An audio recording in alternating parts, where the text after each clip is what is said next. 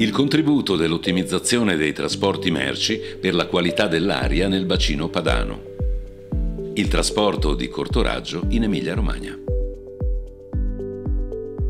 L'approfondimento condotto nell'ambito del progetto Prepare è stato finalizzato all'individuazione di strategie di ottimizzazione per il trasporto merci e la logistica extraurbana di medio e corto raggio, ovvero entro i 50-100 km. L'approfondimento ha indagato come le imprese manifatturiere, in particolare quelle della meccanica, gestiscono i trasporti di ingresso, dove i frequenti interscambi B2B lungo le catene di fornitura della regione Emilia-Romagna contribuiscono ad accrescere i traffici merci sulle brevi distanze. A causa della grande frammentarietà dei punti di presa e consegna dispersi su tutto il territorio regionale, questo problema assume un particolare rilievo nelle aree periferiche della regione, le quali non dispongono di un assetto infrastrutturale in grado di assorbire un numero elevato di mezzi pesanti. Questa analisi è particolarmente significativa, poiché i dati Istat del 2018 ci indicano che oltre 110 milioni di tonnellate di merce movimentate su strada, pari al 13% del dato nazionale, si muovono all'interno dell'Emilia-Romagna e circa il 60% di questi ha sia origine che destinazione all'interno della regione stessa, pari a 67,7 milioni di tonnellate. L'inventario delle emissioni ARPAE del 2015, pubblicato nel 2019, segnala che il trasporto su strada, oltre che il riscaldamento domestico a biomassa, è la fonte principale di emissioni legate all'inquinamento diretto da polveri.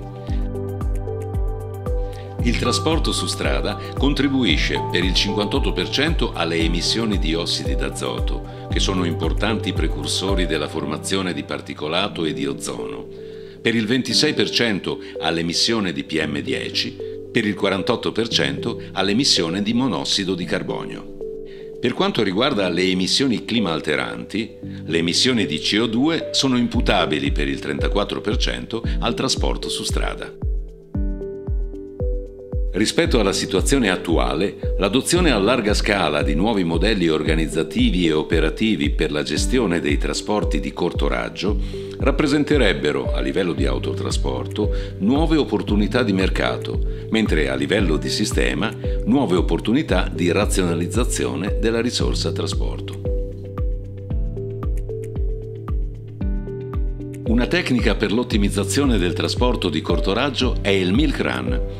nello specifico, la strategia prevede una gestione della logistica di ritiro-consegna delle materie prime presso i fornitori localizzati su rotte predefinite all'interno di specifici cluster e basata su una tempistica prestabilita, combinando nello stesso viaggio dedicato diverse prese e consegne, ottimizzando la saturazione dei mezzi e riducendo i costi del trasporto, ma garantendo sempre la puntualità della consegna alla produzione. L'organizzazione dei trasporti attraverso il Milk Run ha una serie di variabili che ne determinano una molteplicità di configurazioni. La figura riporta una strategia di Milk Run differenziata per frequenza e distanza geografica dall'azienda di produzione. I principali benefici indotti dall'introduzione di tecniche Milk Run riguardano la razionalizzazione dei flussi e della gestione operativa, la riduzione dei costi di trasporto, l'aumento della flessibilità della supply chain, la diminuzione dei costi di magazzino e la riduzione dell'impatto ambientale esercitato dal sistema di approvvigionamento.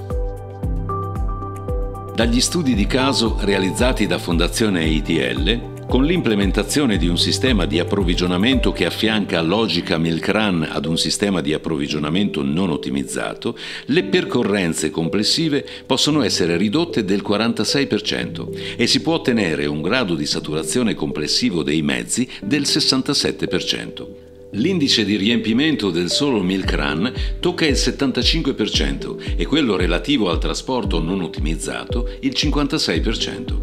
Benefici significativi si registrano inoltre sui costi complessivi del trasporto con una riduzione del 48% rispetto allo stadio non gestito e sulle emissioni complessive con una riduzione della CO2 di circa il 40%. Il settore della logistica in Emilia-Romagna conta 10.058 società di capitali in conto terzi e 8.740 imprese di autotrasportatori. Il fatturato della Contract Logistic del 2018 in Emilia-Romagna è di 12,4 miliardi di euro, di cui il 50% è realizzato dagli operatori dell'autotrasporto.